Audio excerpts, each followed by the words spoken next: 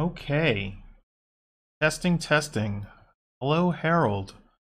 All right, so Adam, hello. If everyone can hear me, let me uh shout out if you can hear the sound of my voice. And uh, let's get let's get cracking. Hope you can see my screen and that um everything's good with you guys today.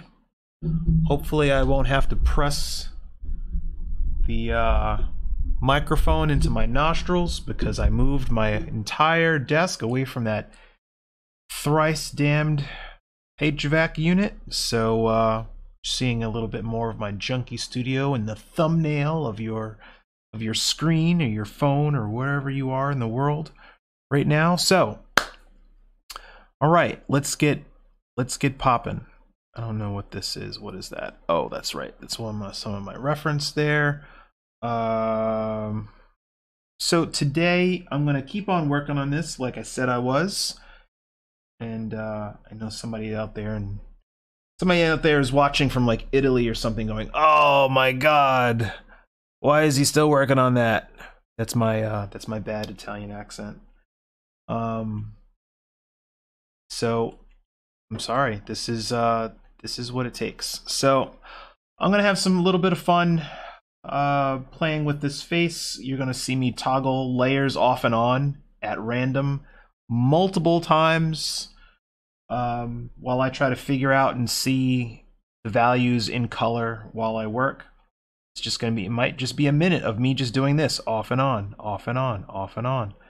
Um, or playing with the different temperatures and things like that. Just want to let you know that your screen is not flickering, it's not freezing up, it is just me spazzing out, being indecisive. So, oh, that's right.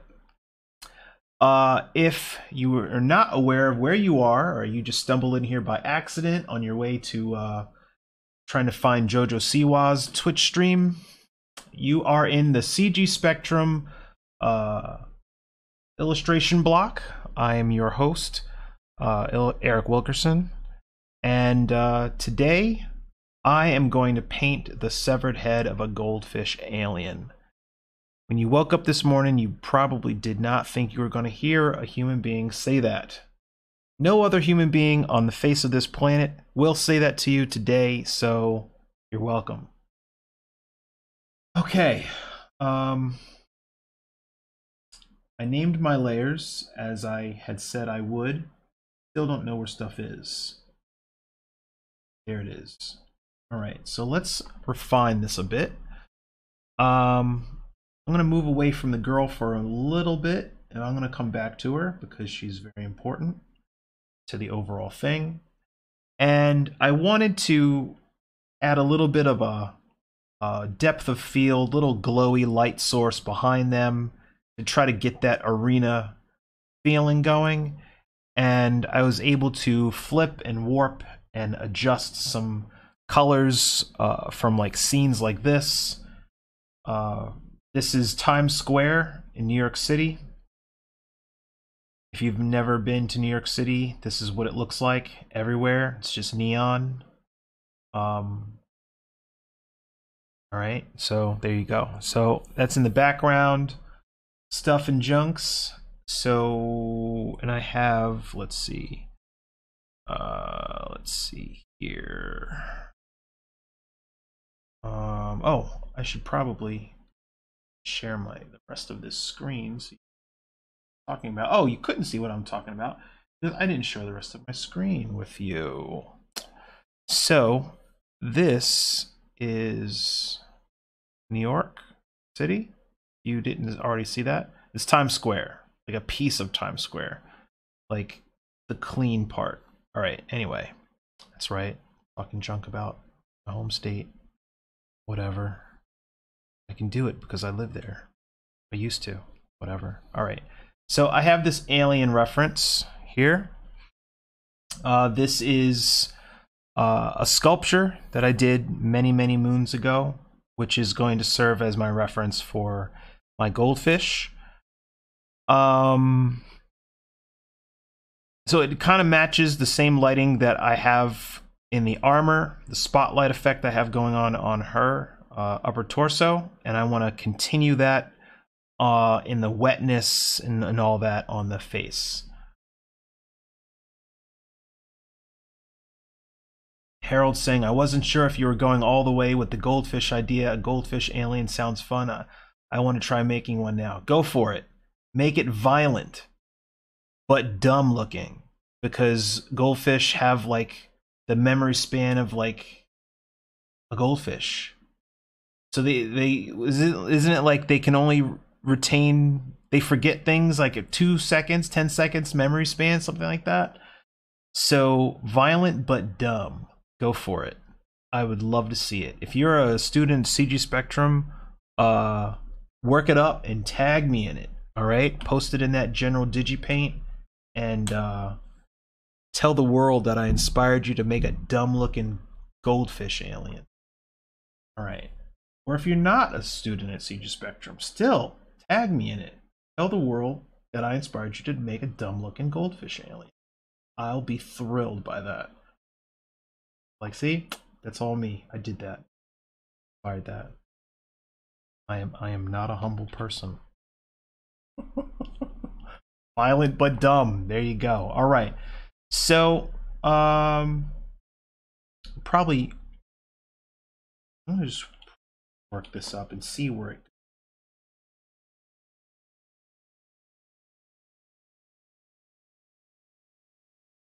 This is so uh, different from the, the way I handled sketching out the armor and stuff of this body very loosely and mostly with value. Um, I'm thinking that I really want to have a pretty solid line work, line drawing for this alien. And anybody that does creature design outside of ZBrush, if they're doing it like with pencil or or you know 2D art in Photoshop, knows how difficult it is to turn a uh, turn a form to make this flat 2D object feel three dimensional and be thinking about this character in three dimensions as you're drawing it on a 2D surface. Um, are the eyes aligned? Is the is it symmetrical or is this part aligned with this part? Um, it's a lot easier to do with a human face because a human face is something we see all the time and you'll know if there's something off. Hopefully you will know if there's something off with your drawing. But when you're doing an alien or something that doesn't exist having uh, solid reference really helps. And part of the reason I'm using an existing photo reference uh, for this is because uh, I don't know what the rights usage rights are. I should probably take a minute to like reference some stuff like that find out what the usage rights are for um, calling up information, calling up photos in Twitch. Because I don't want to get the school in trouble. I don't want to get in trouble and have some photographer like spitting coffee out onto his computer and going, you know how hard I worked to get that photo? And this guy's just stealing it.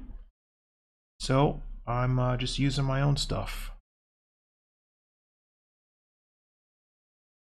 JD, hello. Do I even want to know? No, you do not, man. No, you do not. I don't know what part you walked in on, but no, you don't. um, you probably walked in on me and Harold talking about make it look dumb. so, um, there you go, man. Glad you're joining us today.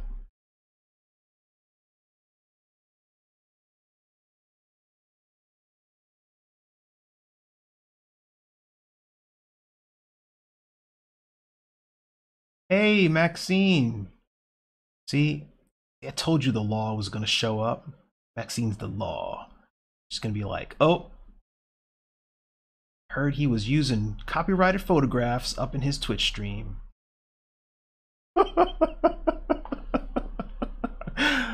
yeah, so no, she's cool. Uh, Maxine is our career development manager. She's the person you go to when you got like bunch of questions about life and career and like when you panic, when you straight up panic and go, what am I going to do? Bang. That's the person. Photo looks like Mitch McConnell's final form. Yo, don't get me started on Mitch McConnell. Look, hold on, hold on. If we're gonna have that kind of, if we're gonna have that kind of day, let me turn off this sound. Let's turn off this listening device I got sitting next to me. All right, because Google's got ears. Power off, son. All right, here we go. No, I'm not gonna say.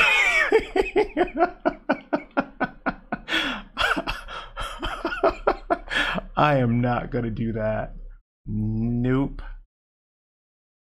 Plus, there'd be somebody in another country going, Who is Mitch McConnell?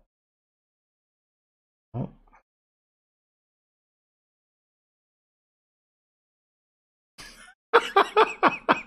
Yes, I did. I mean, that's that's kind of like that's part of it.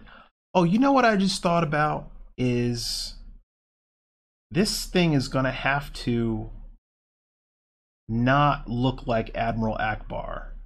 That's like the I think that was the challenge when I initially did the original uh, sculpture for this was okay, don't make it look like Admiral Ackbar, right?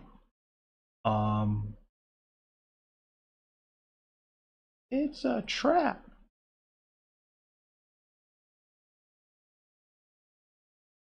there you go.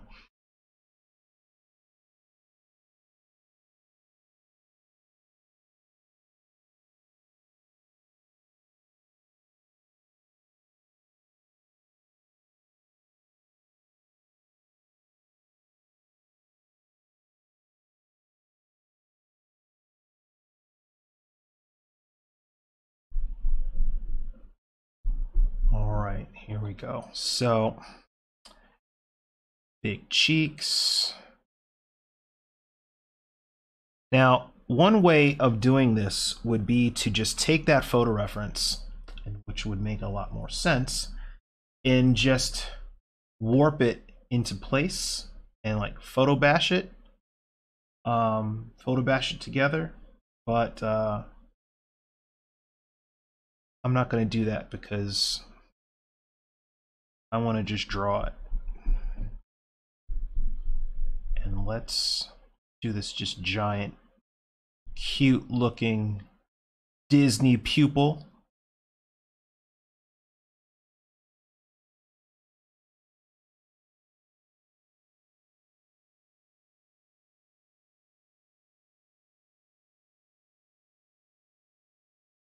I don't know if you guys can see this, so I'm going to just take uh, here underneath this so that I can actually see what I'm drawing might actually help. Ah, that's a lot better. Go. Right. Okay. Now, did somebody say that I should give this guy a mohawk? Sure somebody was like, give him a mohawk. Harold, was that you? I don't know. I think we were just on the dumb part. Make it look dumb. But why? This with it? A mohawk or a fin? Some kind of betta fish looking deal. Daughter got a betta fish this week. His name is Jackson. If we get four more of them, we can put them in the tank and call them the Jackson 5. Huh? Uh-uh, never mind. Probably before your times. Bunch of... Anyway.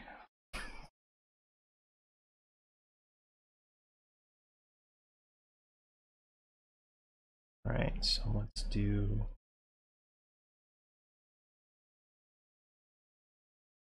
Give him a mohawk, but I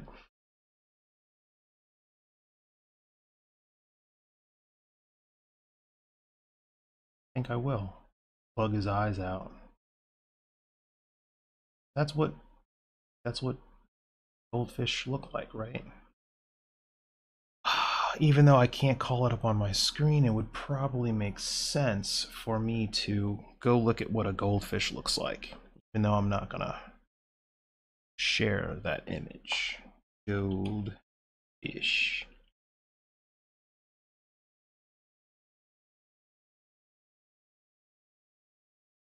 Poor silly looking creatures. Um, with that forever duh face. All right.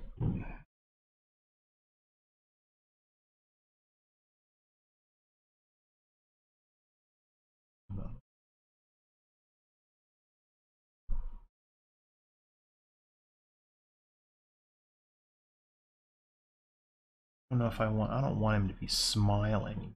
Gotta have kind of O face.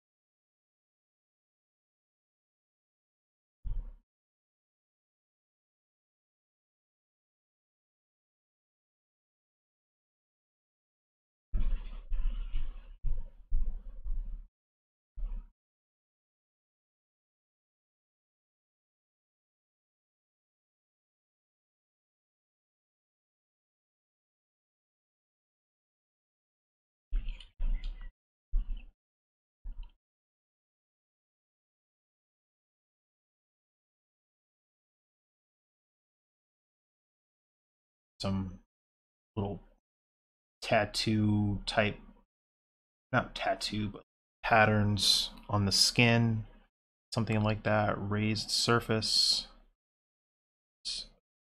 Put a little cast shadow around there. Try to get that kind of human eye looking thing going there. You know what's a great reference for? Oh man don't uh do do I? I was at a I was at a, a farm was it not a farmer's market? I was at a some kind of carnival. I was at a carnival and they had a, a farm like farm attraction. So I was taking a picture of uh cow's eyes. That's right, because when I'm on vacation doing stuff with the family, I am forever in the moment taking pictures for reference for future stuff. Um, I didn't. I'd never realized how large a cow's eyeball is. Ever have the opportunity to go look at something like that? They're they're like it's like the it's like the size of a tennis ball. It's incredible. Too many thoughts. So we have a chin. Do we give him a chin? No, no chin. He'll look dumber if he doesn't have a chin. Why do you just spit coffee out on their computer? I'm like, I don't have a chin. I'm not dumb. Sorry, man. Alright. Then here we go. So we had discussed whether or not there were going to be like flaps of skin around the neck where the cut happens, where the where this lady's like axe laser axe thing cuts him. So this is where we're just going to keep it smooth. Maybe put some like glowing effect in there. Yeah, I like the mohawk idea. But we'll make it look betta fishy.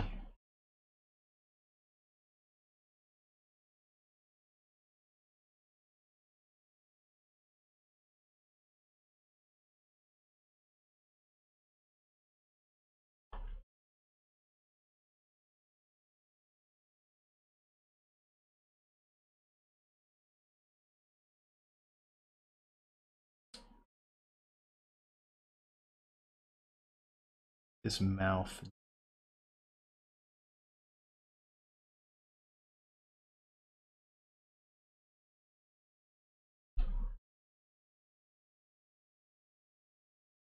Part of him still kind of, still looks happy. He looks happy. I don't want him to look happy.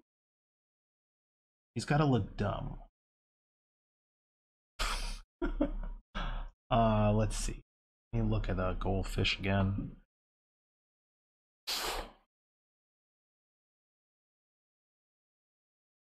Oh, that's perfect.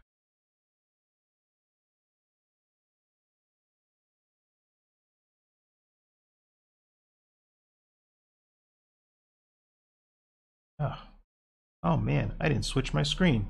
All right, so the legal legal team at Twitch come at me. Sorry. Sorry about that.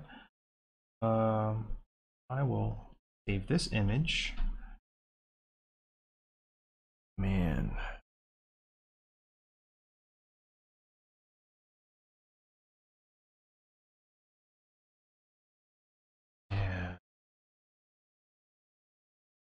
What else can I use?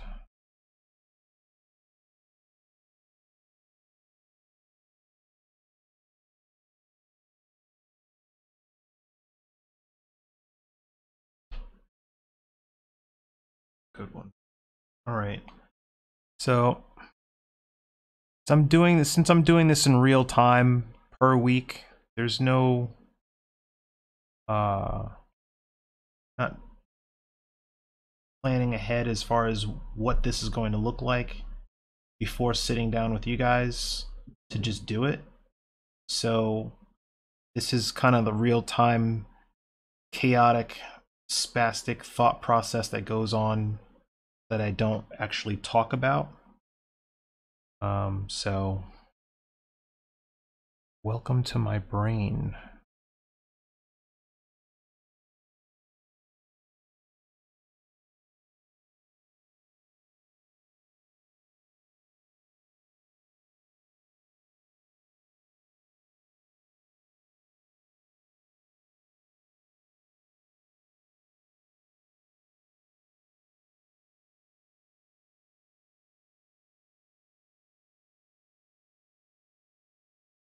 I I know what you're saying, but for some reason it feels like his face feels like well at least the mouth kind of has this Pokemon anime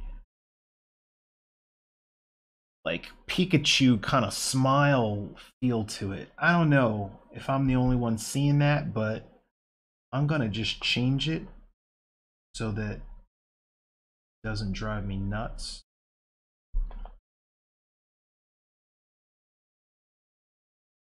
Maybe he doesn't have teeth. I think maybe that was that's a part of it. So we go I have some I have some reference actually called up on the screen now. So we go with uh the gills are down in here in his face. And then opposite side of the face, that cheek curling up, and this kind of jowly, baggy thing there for the neck, gills.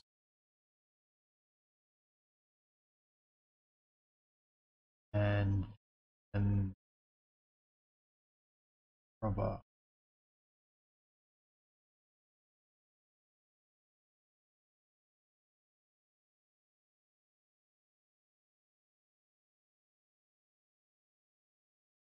Ooh. Ooh. Ooh.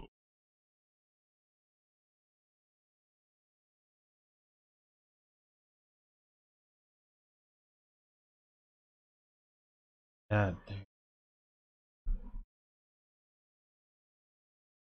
I give him a little couple baby teeth.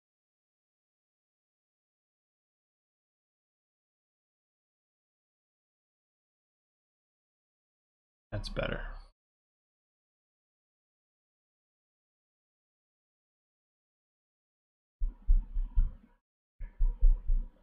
Yeah. Like and I, I and I, I know I've preached about this a few times on this stream, but I, I really heavily lean in on my students, especially my advanced students that should know better. Don't make anything up and think you're going to slide it past me and be like, "Yeah, I think this looks good." No, it doesn't. No, it doesn't. Do it over. Then when you do it over, go get some reference so you know what you're looking at. That's all. I mean, I'm I'm the mentor, but I'm not gonna sit there and like applaud you for doing half the work when you could actually take the time to actually you know gather reference and do it right. So no thumbs up emoji for me. Not yet.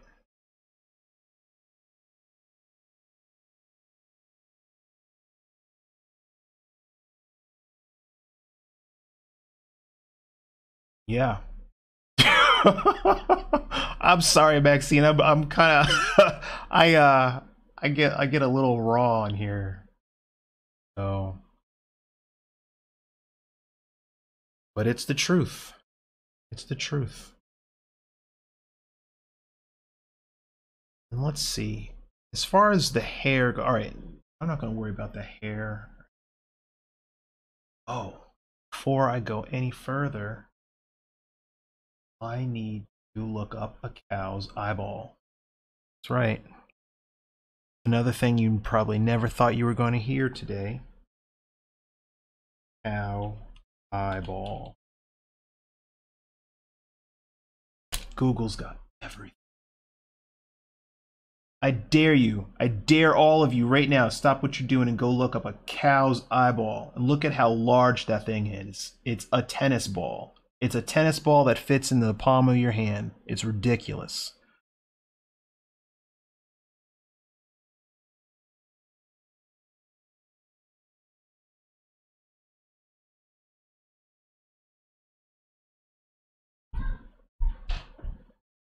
All right.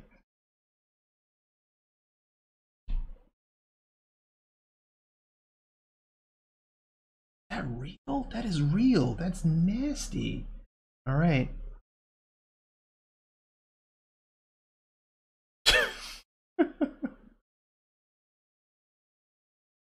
All right.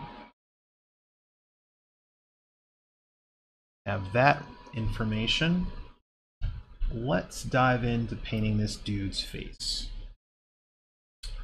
Um,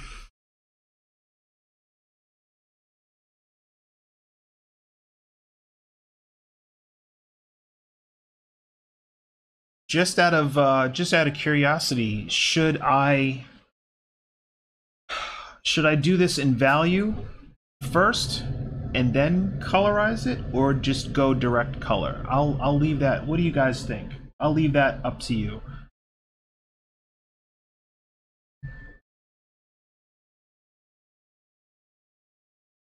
By direct color i mean i'll just figure out my values and color at the same time while working into while painting into the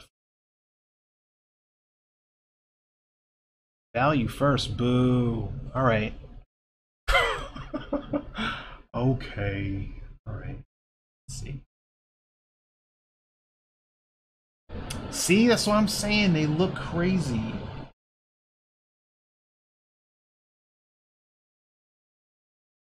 That's how you feel most comfortable working? All right.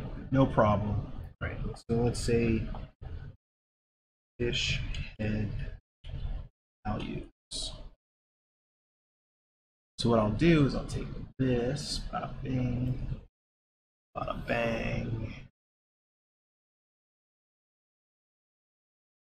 Bada bang. And then polarize that.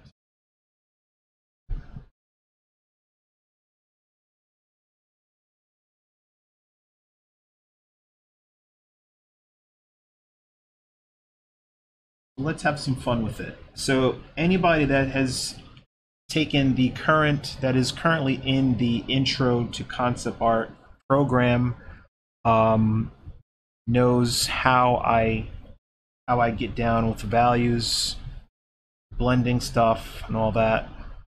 So we're just going to dive right in.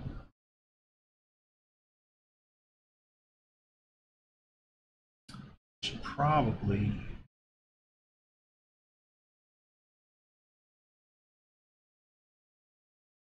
before I do anything else, first things first is I'm going to make sure that all of my lines are connected.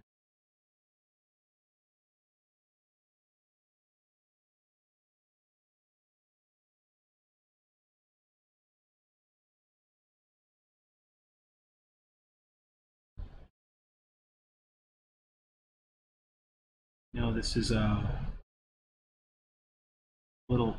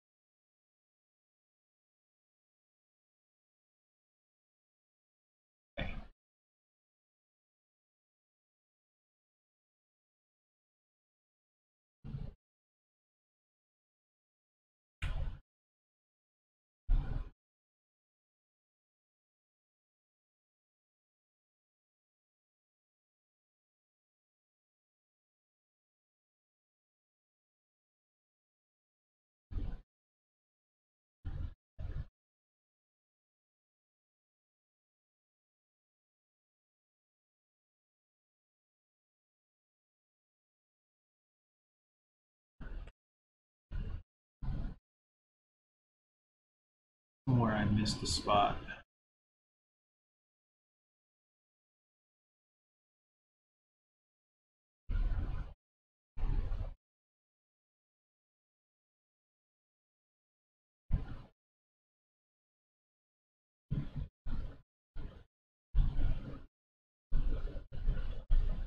Ah, there it is.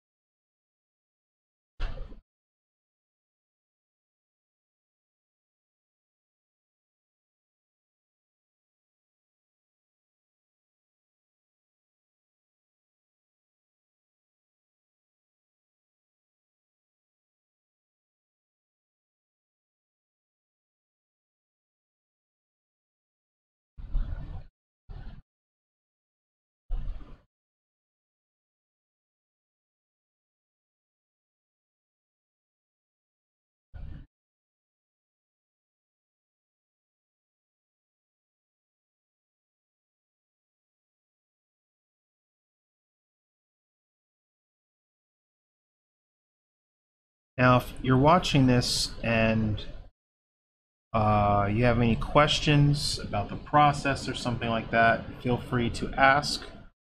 Um, I've also painted stuff like this a lot, so it's a little more natural and flowing than it might be for some students that are just starting out, learning how to control the program. So there's that. All right.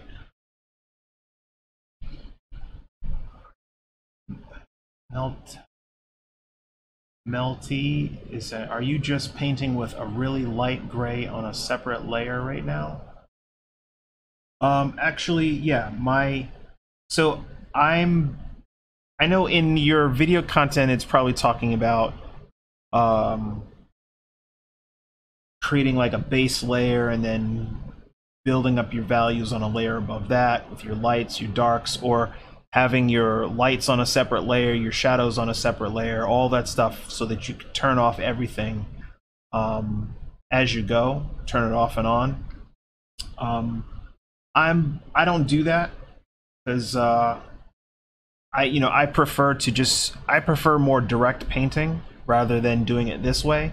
But when I do do it this way, I do it all as if I'm just painting from life. Uh, so I'm baking everything into one layer.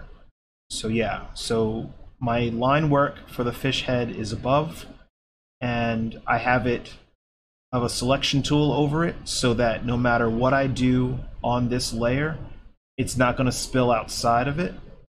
So just having some fun. Um, you guys silhouette first when working on concepts for characters, or do you work out some ideas then move to silhouettes? It it varies. I mean, I pretty much had worked out a silhouette for this, an outline, a sketch for this this fish head before moving to value. Um, but if I were to do, if I were to sit down, like if this were a concept art stream and I just worked out one sketch of a goldfish, severed goldfish head, and then wanted to do iterations on that, yeah, I would create some silhouettes and then play with the mohawk, play with giving him some gills or, or some, you know, some mohawky looking fins uh, along his sides of his jawline or something like that.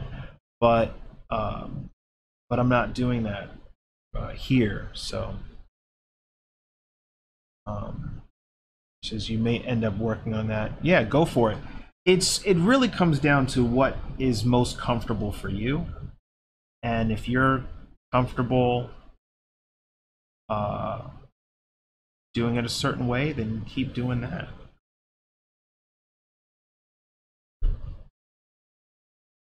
So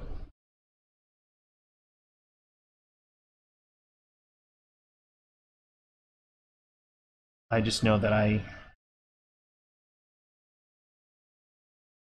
I have fun just rendering eyes and stuff like that. That's really fun stuff.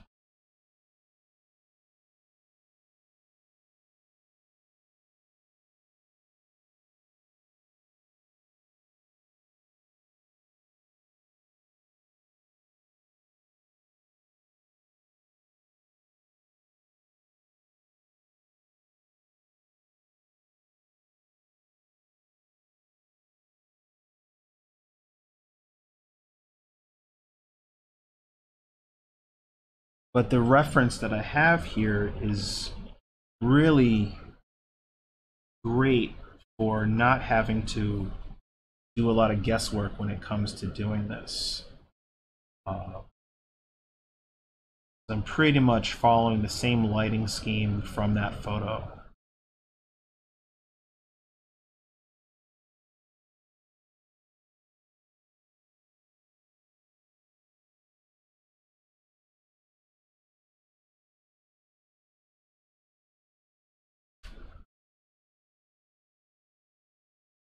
And like from here, I could just go over top of the line work and continue rendering it to a point where I'm happy with it.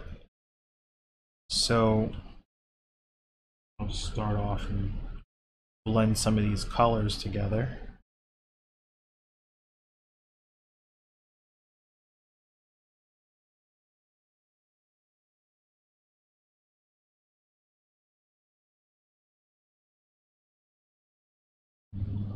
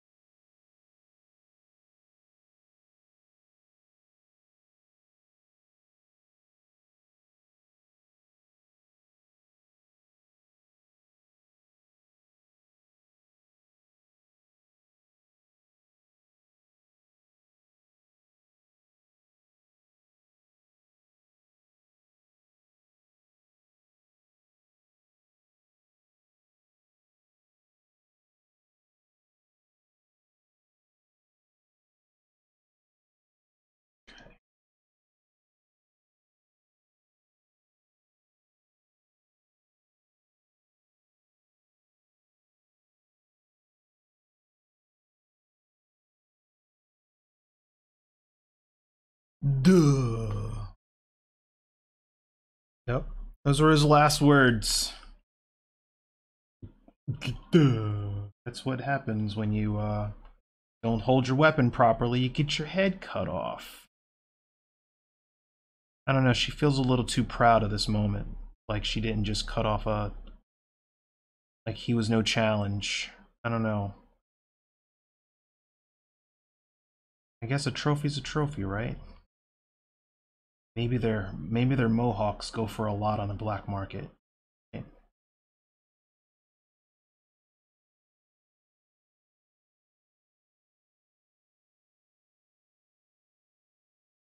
So Melty, are you in the current intro to concept class? Because I actually walk you through exactly how uh, I do that with uh, blending. Um, the exact settings and everything so that um, because I know that was a big issue for students in the past was uh, is I'm I'm hopped over to the advanced course with Hamza. Okay, so you might Oh. If you're in the advanced course now,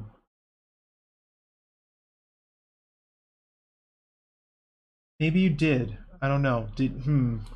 So if you're taking the did you did you take the intro or did you start off with the advanced?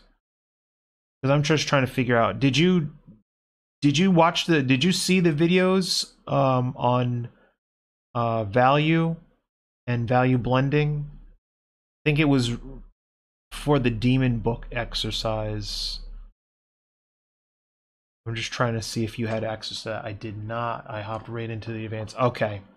Dun dun dun. So you all right? So you didn't get those lessons. Um, what I'll do is uh, I'll record a little a little video. Actually, I did record a little video, so I'll post it again. Can we get access to those?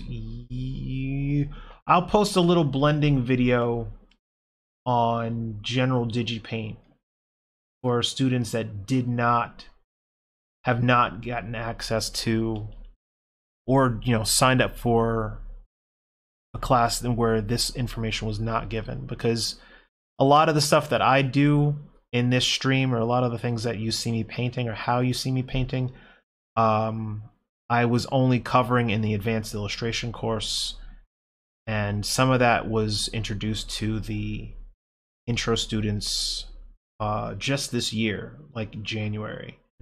So if you were not, if you didn't start the intro program as of January, I don't think you had access to it. That's how it went. Yeah, yeah, no probs. So let's see, we got the light hitting there, cast shadows, all that junk and stuffs. Get some dodge tool popping in there. Pop, pop, pop, pop, pop, pop, pop, pop. Right.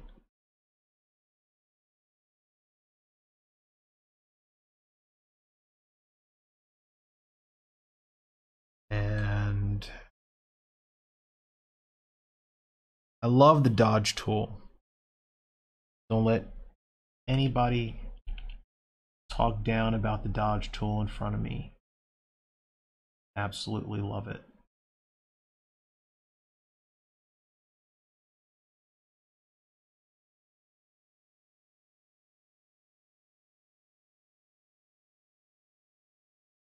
if you want to get that wet, kind of scaly look, just burning it right in, dodging it right in.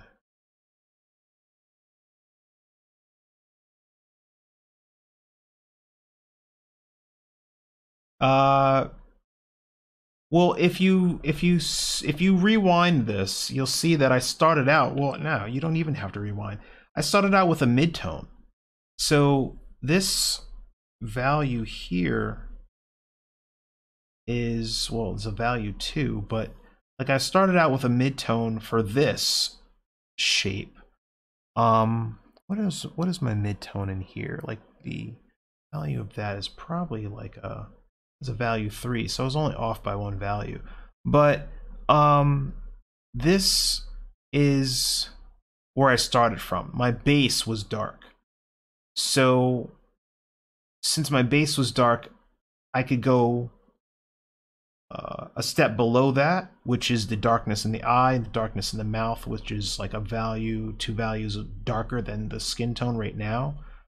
And then I could add in uh, a midtone in the light, which is like a value five. So that's uh, that becomes the uh, a, a light tone in the in the a light tone and a dark tone, and then right between there, I'm adding in my shadows. So, um, to answer your question in a very long-winded way, um, no, I I build it up from dark to light.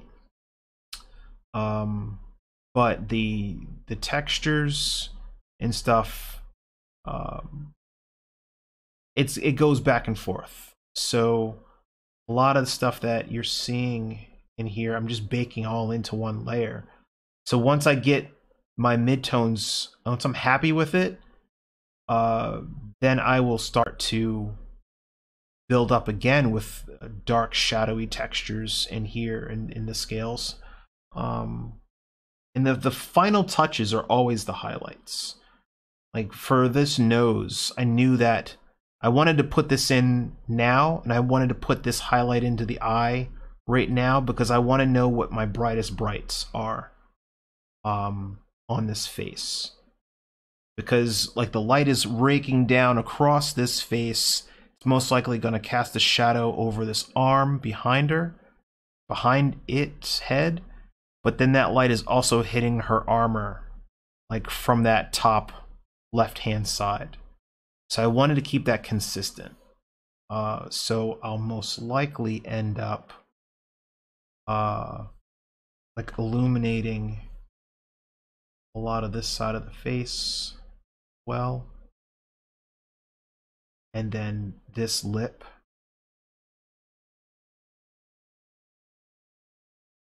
But I want to keep everything feeling like kind of wet, right? So that makes sense. Hope that makes sense.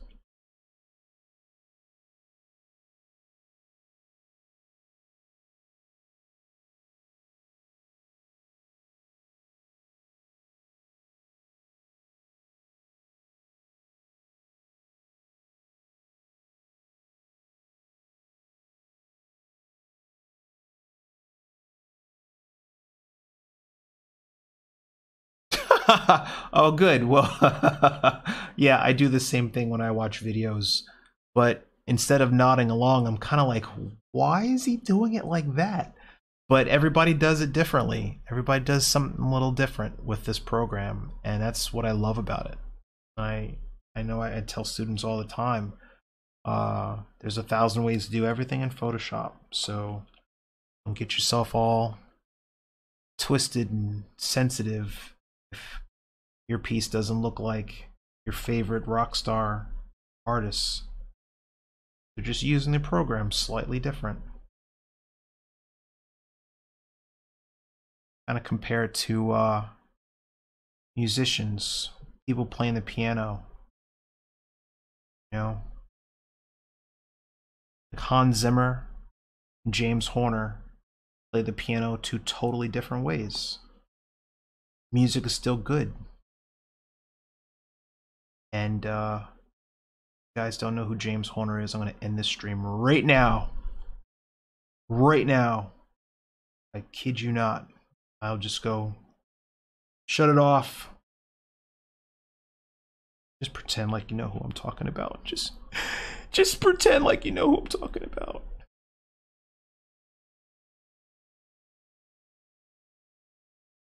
See come up there.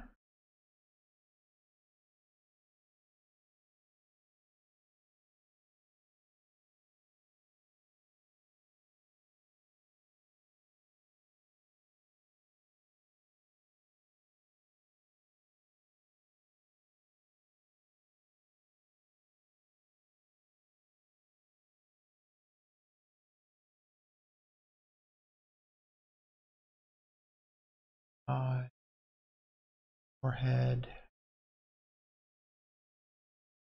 gills.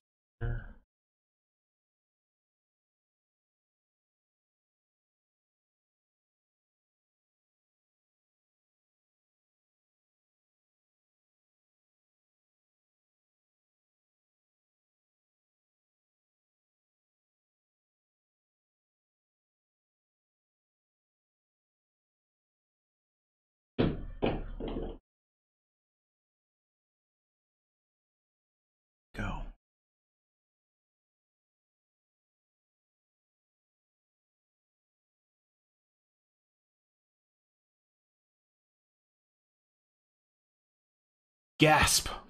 Gasp. Yeah, uh, James Horner is like one of my favorite film composers. Um, I mean, one of his like he's done a he's done so much, so much. Um, I mean, uh, his his sound is going to be missed. I, I I was a big fan of the work he did for Willow and Krull and Honey I Shrunk the Kids, Spider-Man, recent Spider-Man movies before the Marvel, before it went back to Marvel. The Avatar, Av- sound for Avatar. So many beautiful, beautiful scores.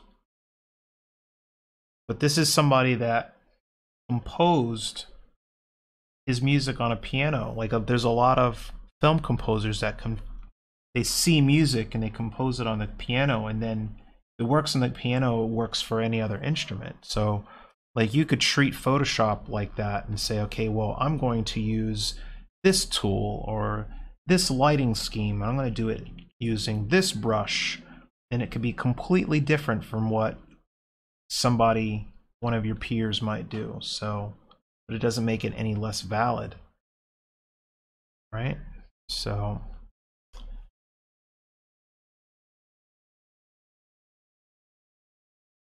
that.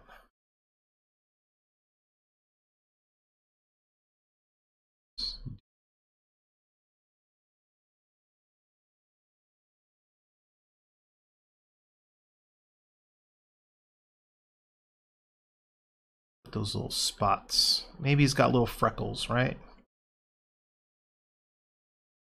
Something like that.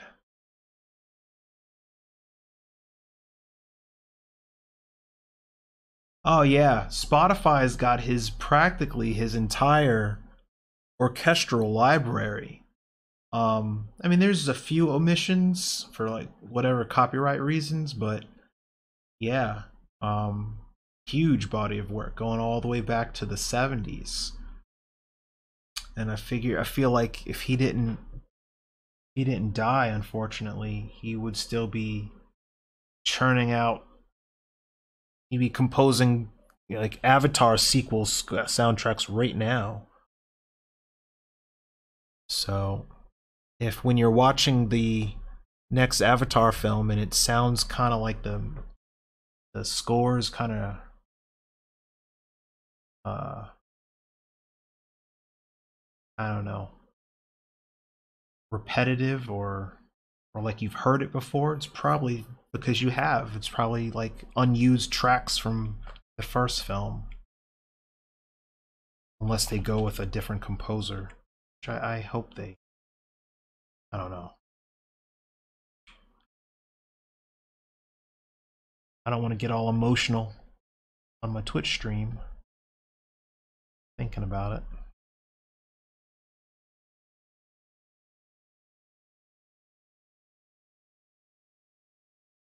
So there's that cheek.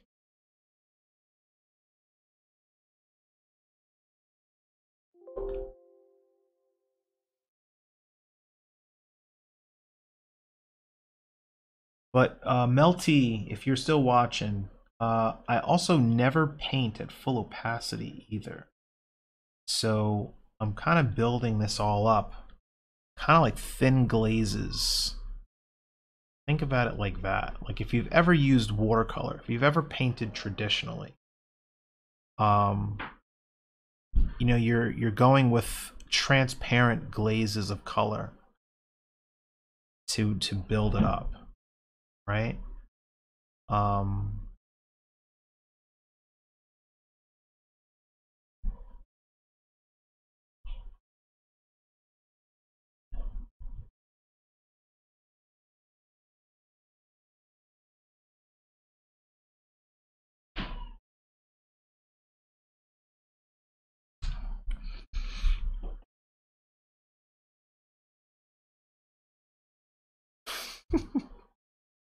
oh my goodness. All right. So might have to lighten this up a little bit. Quick, cheap way of doing it.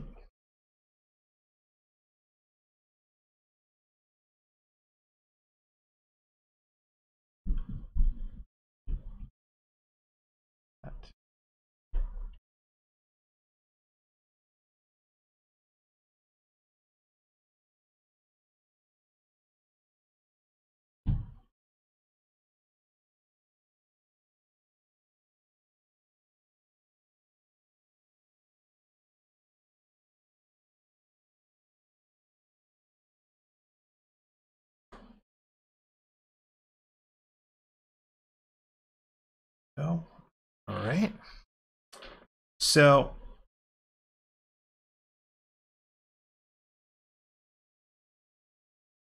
let's figure out a color scheme. if you, I don't know who's watching or how many people may be watching, but uh, tell me, give me some suggestions. Color scheme, color of his mohawk, color of his skin. Are we going gold goldfish, like straight up goldfish, orangey, or we going with something a little different? Toss your uh, green would be fun. Green would be fun.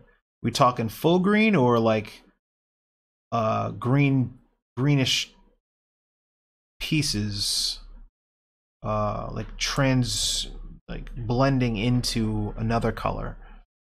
All right, that's 2 for green.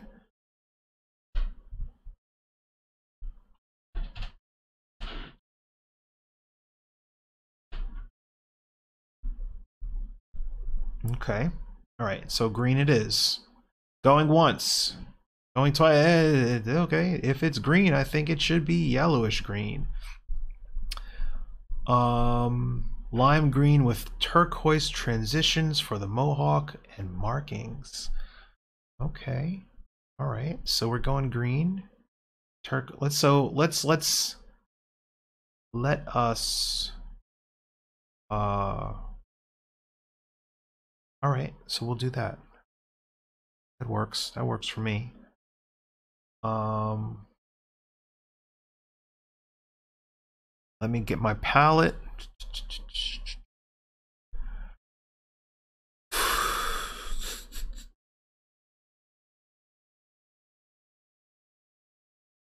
Choose the right value of green to start with.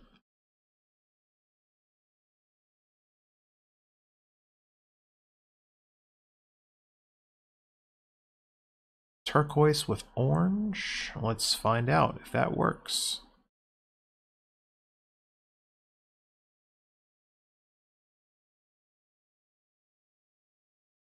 See, turquoise with uh, then with right with the red, yellow, blue. Yeah, right. Like yellow or right. Yeah, so we can let's try this. So we got one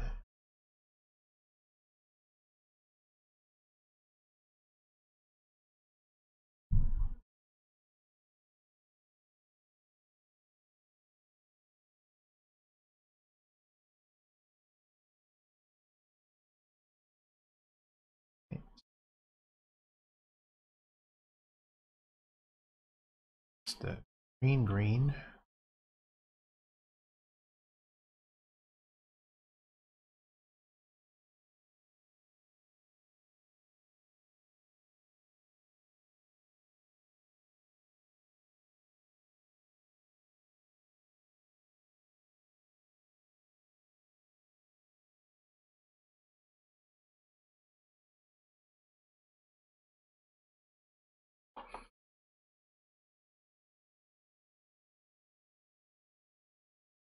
That green.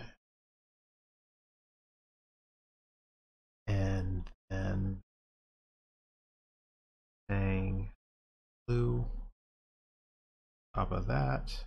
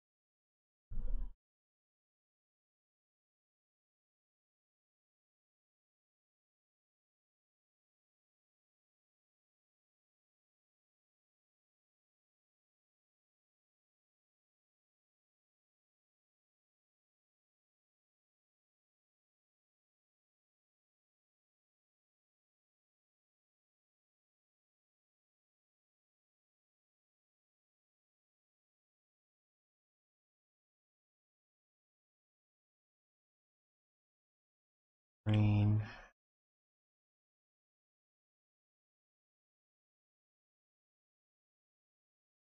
That one. And choose our palette for this thing. It's gonna be fun.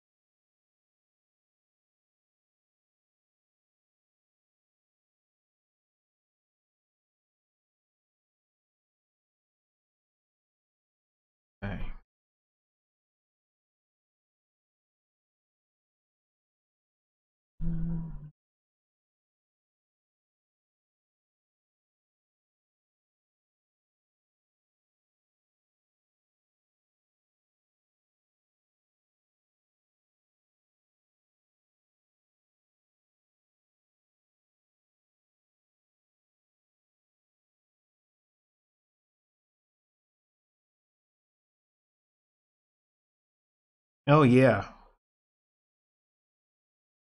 I've done this a few times, so I'm not outside of my comfort zone uh, with this, which is nice. Last thing last thing you need is to have me panicking for two hours not knowing what to do.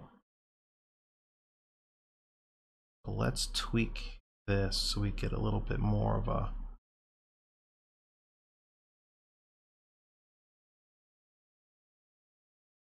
Because I feel like that's the best of both worlds. We got our blues, we get our goldfishy oranges. Highlights can be yellowish, reddish tint. Right? And then we can play with the transitional values, transitional tones on the face this way.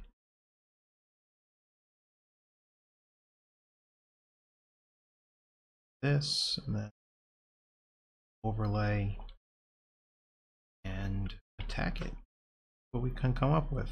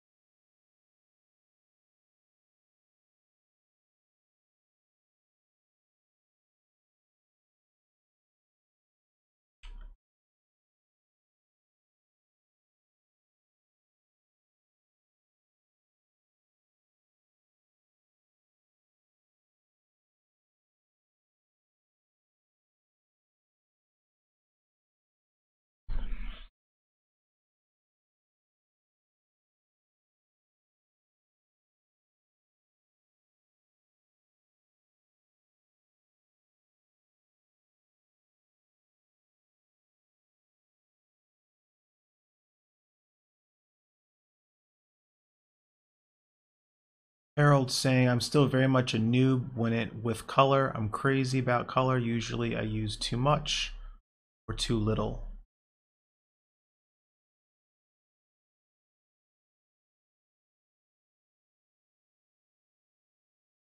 So, Harold, the first thing you want to do when it comes to using color is think about what you're trying to say with the piece. What is the most important thing? Usually your your brightest brights, your lightest light colors, your darkest dark colors, and your most colorful areas of interest are going to be around the focal point, right? So then how do you then it's really up to you to decide uh, how saturated to go. Is it an emotional scene? Is it a dark, scary scene? Is it something lighthearted for kids? Is it horror or something violent? Like, does a, a uh, something more horror and, and and scary need to be chromatic? Probably not. But like if you look at kids' books, everything's super saturated, right? Um, that's for a reason. It's psych- psychologically, kids respond to bright colors. That's why you always know you're in the toy section of any department store. Right? The minute you step out of the toy section, everything goes back to being gray and dull. Like what what are what's Apple Computer's colors? Like white and white? oh, oh, I forgot. They uh they're coming out with um not updated but new chromatic casings for their all of their stuff, right? So you can get a a purple Mac iMac. Ooh. Um but yeah, like even that's not really pushing it. So stuff for adults seems to get a little bit more neutralized. But stuff for kids, stuff for different films, think about that. Like if you're if you're whatever you were painting were to be made into a film, uh what would it be? What what what would the palette be? And usually when you know that, it'll give you a, a, a basis to go on for what colors to choose, how saturated those colors should be, and uh, kind of take some of the guesswork out.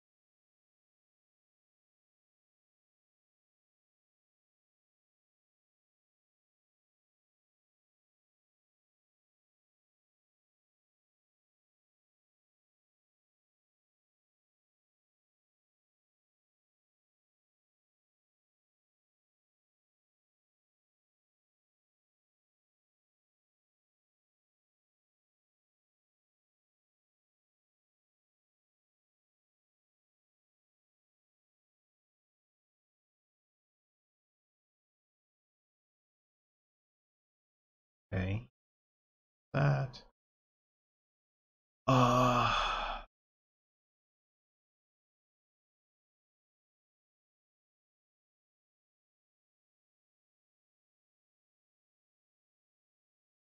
So what I tell my students, my my advanced students to do is to if they want to learn color, it's really going to come from observation not going to come from you trying to guess and figure it out just blindly until you stumble upon a uh you know the answer it's going to come from you taking the time every day to uh, practice to to do like landscape studies. Um, what I have my students do is paint screen captures. So if you're familiar, there are there's a lot of different websites out there that have whole movies like frame by frame. Animated films live action films you name it action romance whatever.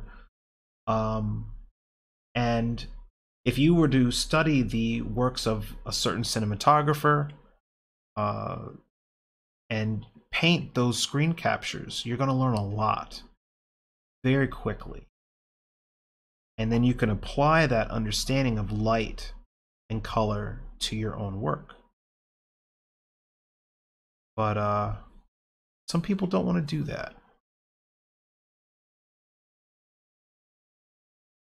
You know, there's this feeling like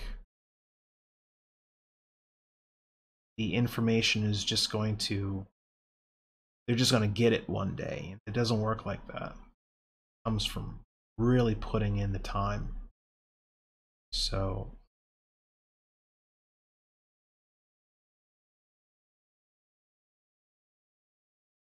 Oh man. Uh my students would tell you I, I preach about the awesomeness of Kung Fu Panda all the time. I love that movie. In fact, uh, there's like a few of my professional illustrations that are just like the color palette is just ripped directly from uh, that movie unapologetically unapologetically because uh, it's just so cool. Just the way it's lit the way the the palette the entire palette of the film uh, is just so fantastic. That's right it does slap. It slaps hard. Yep so like kung fu panda like i tend to tend to really oh man of course my accountant would call right now. Uh, so uh i tend to uh look at a lot of animated films more so than live action but that's not to say that there's no really good live action either. Um if you look at the collective works of Roger Deakins, cinematographer for Blade Runner 2040, whatever.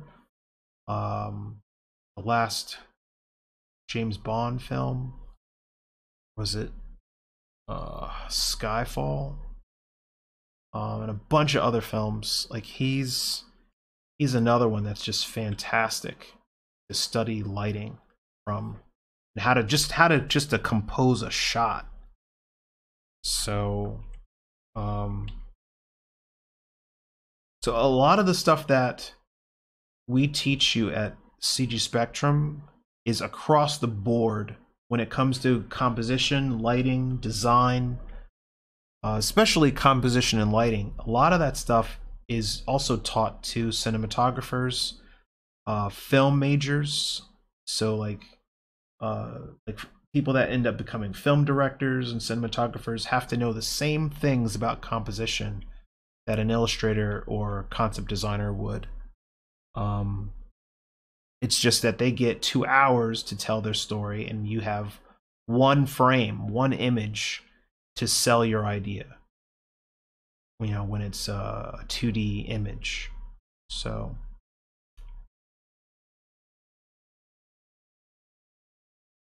That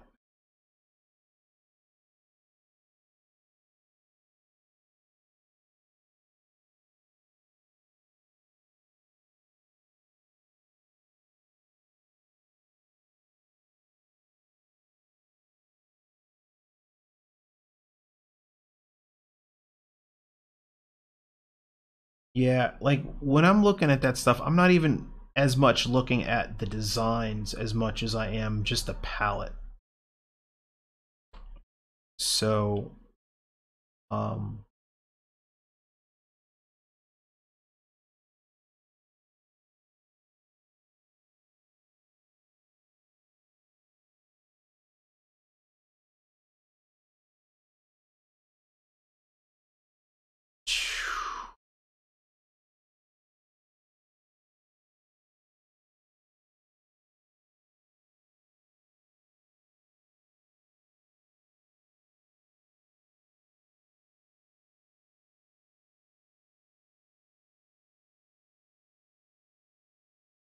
Yeah, go for it, man.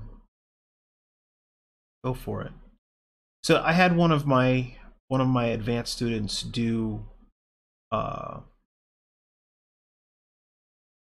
I had one of my advanced students do um, screen paint a screen capture from Moana, and uh, one of the TAs has also uh, done something similar. The one of the teaching assistants on uh, the on the Slack channel for the school. Um, it's basically giving yourself a time limit to say, okay, I'm going to paint this screen capture, but I'm only going to give myself half an hour to do it or an hour to do it. All right. So if you guys come away from this live stream and I go to General DigiPaint and see nothing but Kung Fu Panda, uh, like one hour studies, I'm going to be very happy because you're going to learn a lot from that um, seeing how far and how much you can paint from that in an hour. It's going to build up your understanding of light, color, value, everything, and uh, your your speed, your confidence level. All of that stuff is going to improve the more you do it. So then, when you get into whoever your mentor's class is, and you do that next project, you can attack it with confidence. That's what it's all about. Shouldn't be like freaking out. Oh my god, I gotta I gotta render this? Should be oh sweet. I get to render this. Hold my hold my lemonade. About to go to town.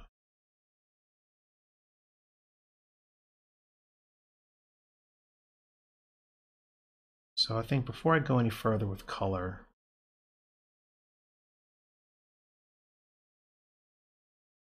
I'm going to finish rendering this eyeball meat. And if you didn't have enough giant alien cow ball, cow eye in your on your TV screen right now, here it is at full resolution. All right, so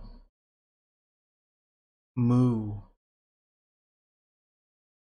So right over top of that, well actually I could probably do without the line work right now.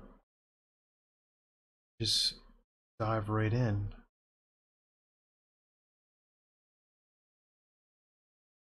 Yeah, I'll try that. See how it works. This was my fish alien line. I'm going to turn that off.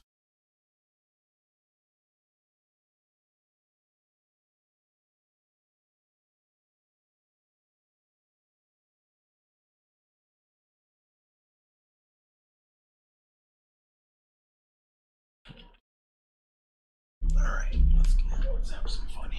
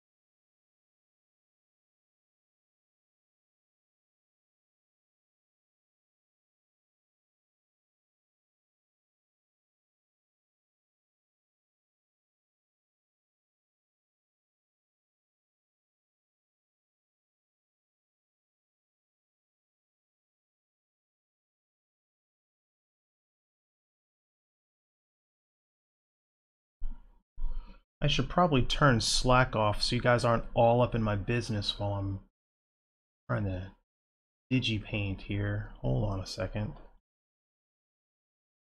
Oh.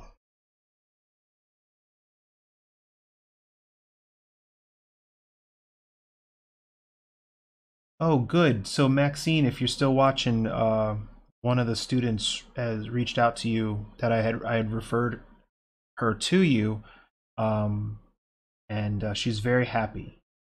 So, um, glad to uh, connect people, stuff and junks.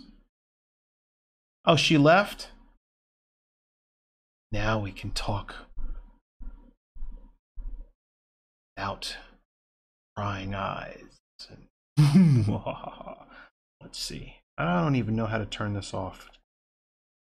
Get notifications. Oh. Oh.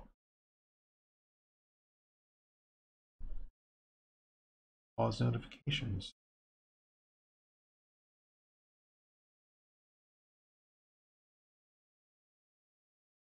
Go. Pause notifications for two hours. All right.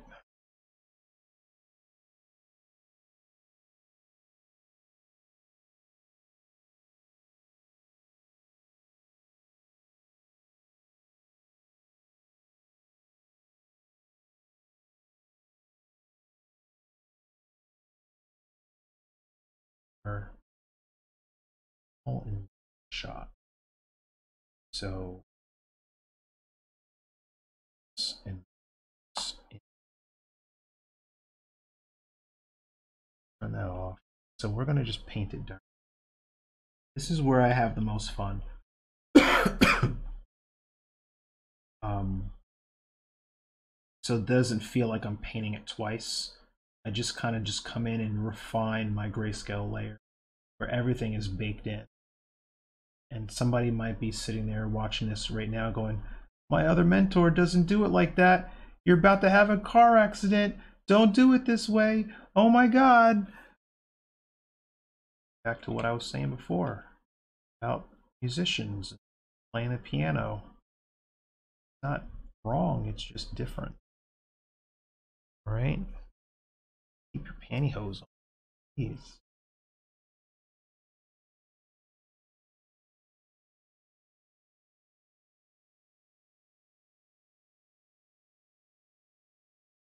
Want to get a really nice render of an eyeball in here.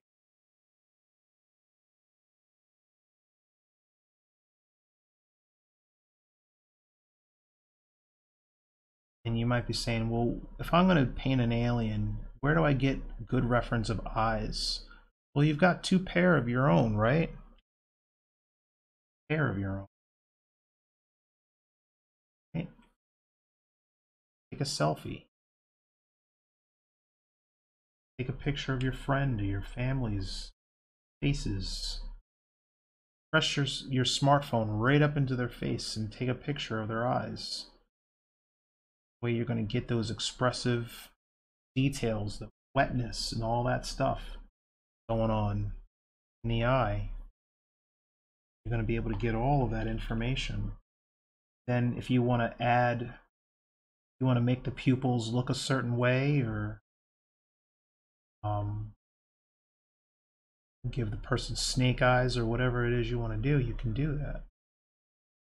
Because you'll have had that, you'll have that reference.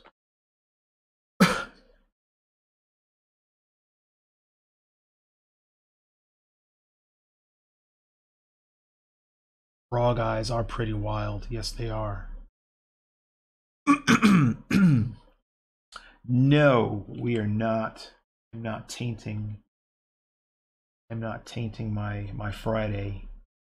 Uh, saying that, that demon's name because it's kind of like Candyman. You say his name more than three times, and you know, all of a sudden you find like $5,000 missing from your bank account. Pretty sure that's how it works. So, uh, no.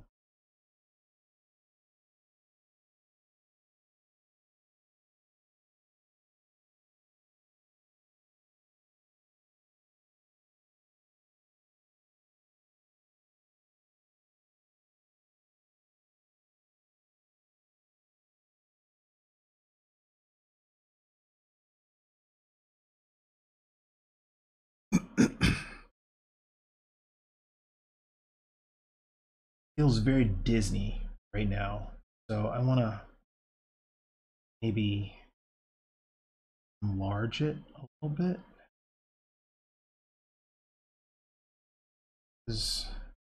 I know goldfish just have really big eyes. Okay, so we're going to go with that. They have another ring of of uh, something going.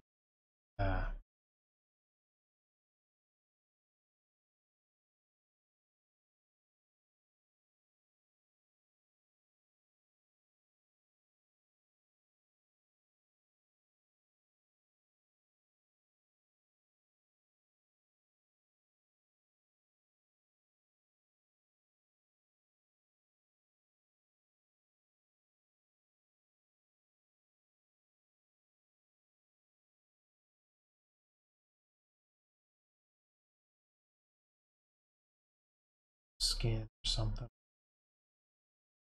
Play with it like that. Let's get into some specular stuff.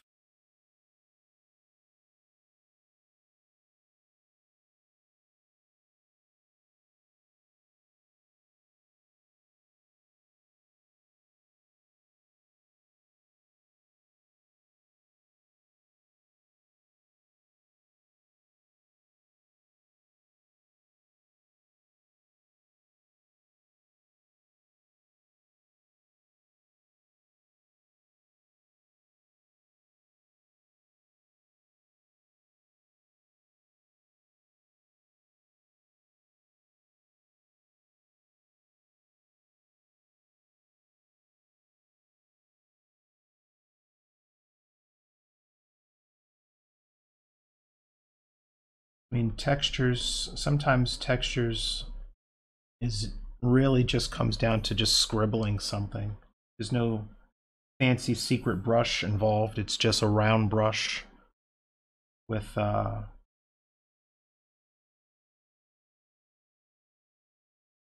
brush dynamics checked.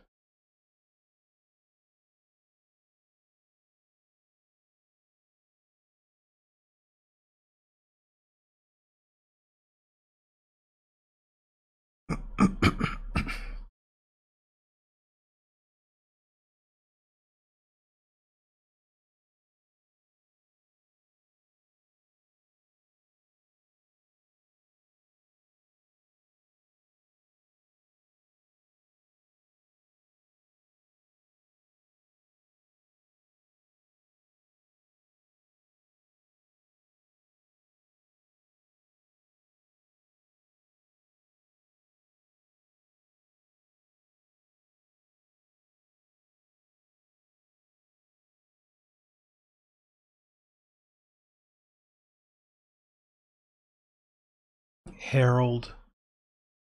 I'm very I'm very sorry for that. So Harold's last name, if you I know for somebody who's watching this later on and doesn't know what's going on, so uh Harold is saying that he's watched Candyman for the first time a few months ago, and after years of being called Candyman, um, similar to his last name, uh, Candyland. Is that Candy? No, is your last name is actually Candyman for real? For real? He says he never bothered watching it. Oh my god. Man. I would probably got into a lot of fights as a kid. But uh man, are you brave enough to say Candyman's name three times in a mirror? You are you you cool like that? Because I, I would never do that. Candyland, Candland, Candland. Oh man.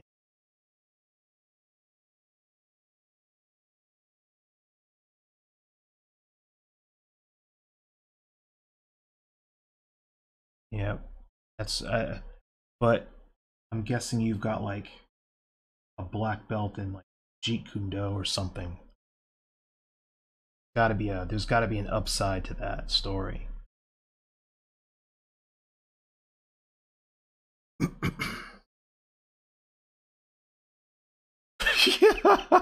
yeah, Harold saw what happened to the kids in, in Candyman. He's not brave enough to say that that name three times in a row in a mirror. Nope.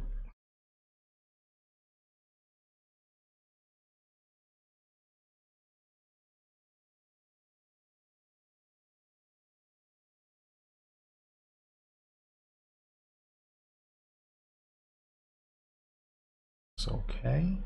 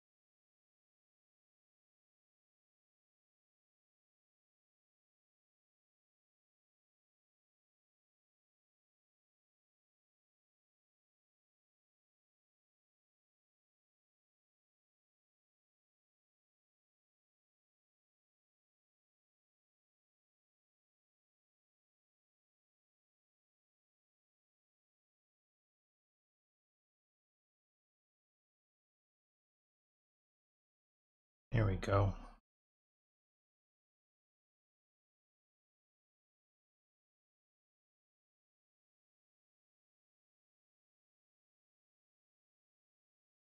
Should there be a slice or a cut across his face? Maybe like some signs of battle or something like that? Thinking about that just now. What if there was just a big open gash like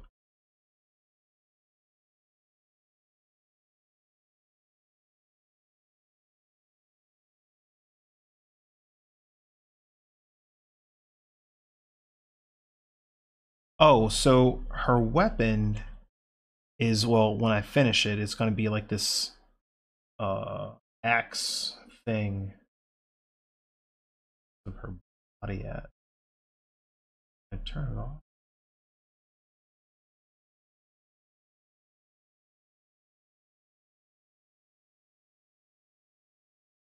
So yeah, she's got this this axe um in there. So I figured I would give her some kind of uh lightsaber type axe thing and maybe this guy has a a slice going across his face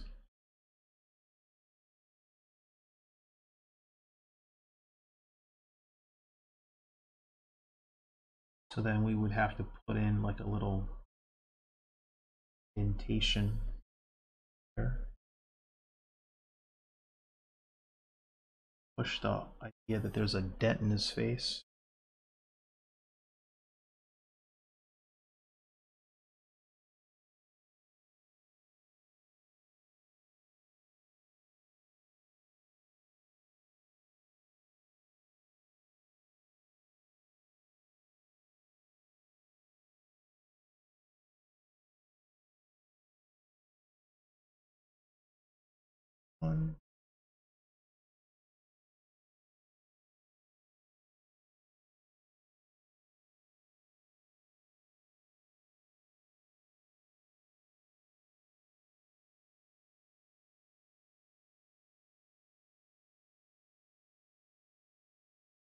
Oh, getting warmer.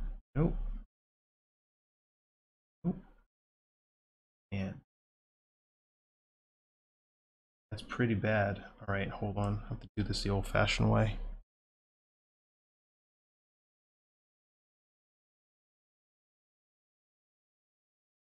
Uh, there we go. Turn that off.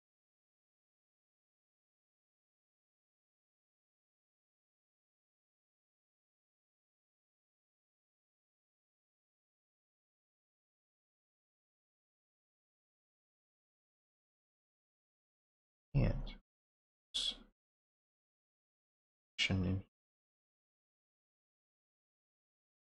so I'll just erase out that part.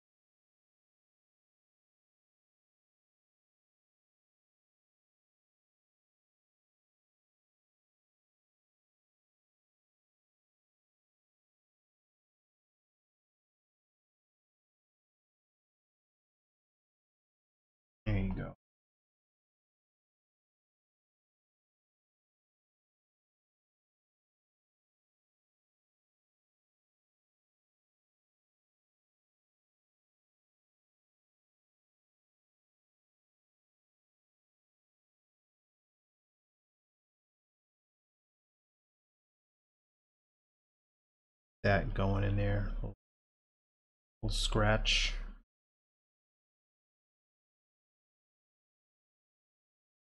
Toughen them up a little bit. All right. Uh,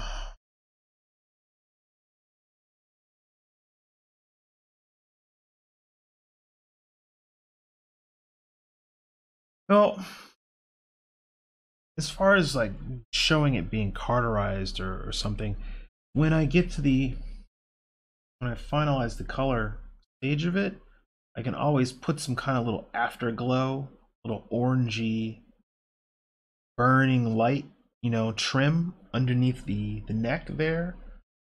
Um, to maybe show that it is a fresh cut. Uh, but yeah, that's uh, that's that. Um,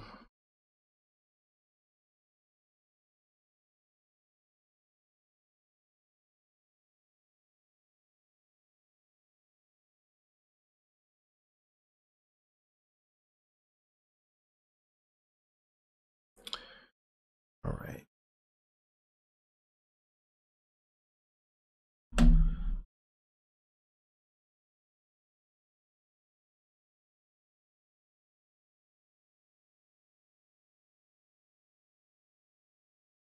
Play with the a lot of textured brushes I don't play with often. Let's see what the fun part about doing these kind of things is that it's like two hours to really experiment.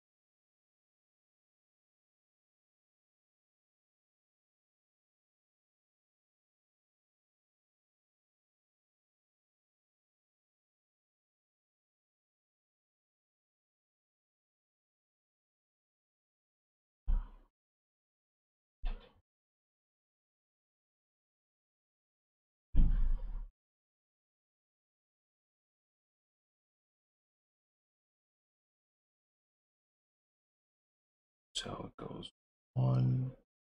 As that should be carving it up with additional thing.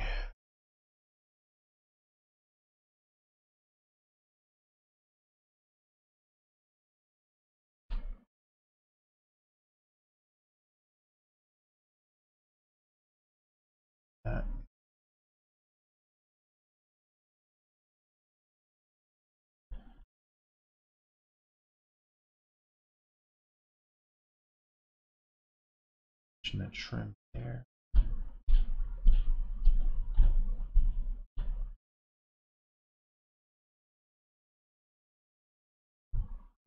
that theatrical lighting effect to the head, so creating more of a three point lighting effect going on. Works.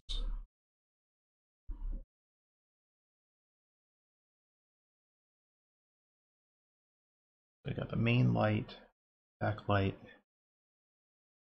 still.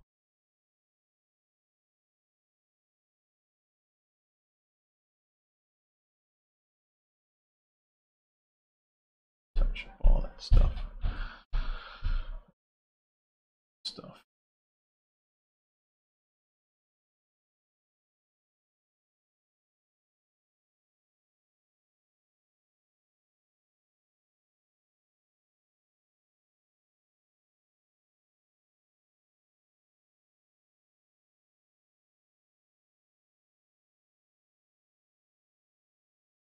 So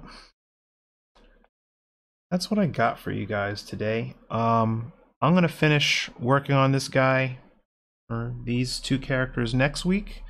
Same bat time, same bat channel. Um, does anybody have any questions? Uh, or if you do have questions and you're a CG Spectrum student, you can always message me through Slack anytime.